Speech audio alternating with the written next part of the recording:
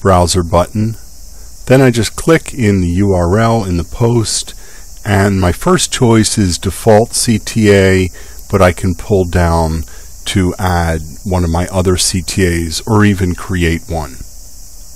So clicking here or here will give me default, clicking the other one will give me my extra CTA. Then,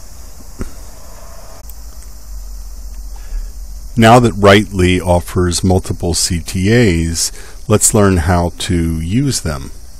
So, from an article I want to share, I click on Composer, the